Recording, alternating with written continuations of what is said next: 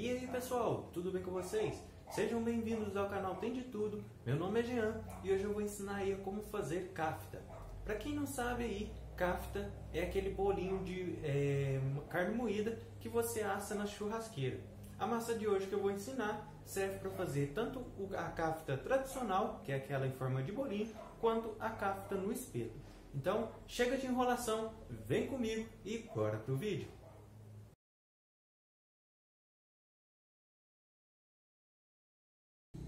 Então, para fazer a receita de hoje, a primeira coisa que a gente vai fazer é colocar a carne moída em uma vasilha. Em seguida, a gente vai colocar os temperos, que seria cebolinha, salsinha e outros temperos que vocês queiram, é, como por exemplo é, o alho. Vamos colocar também o creme de cebola e misturar bem.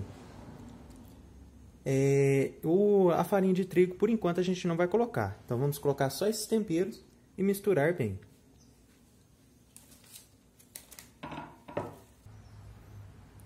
Agora que eu já misturei aí, eu vou colocar o sal, vou mexer novamente.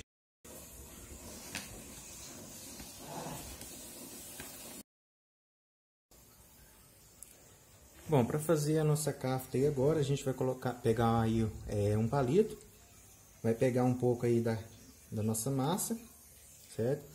E agora a gente vai colocar ele aí, é, cobrindo o palito.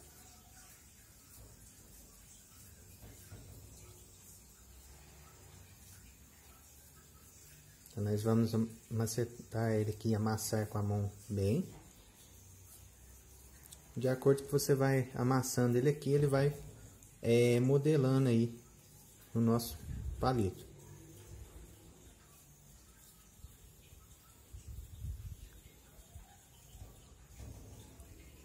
Pronto, olha só como ficou a nossa cafta é, de espeto.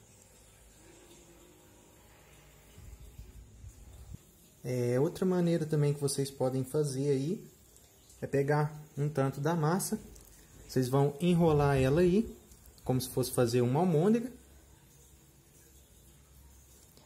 Feito isso, vocês vão achatar ela e vai fazer ela dessa forma aqui, beleza?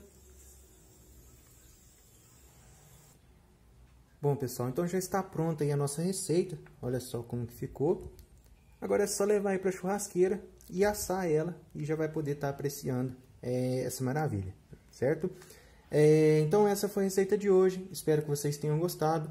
É, se gostou, já clica aqui embaixo, se inscreve no canal que vai ajudar bastante. Fiquem com Deus e até a próxima. Valeu!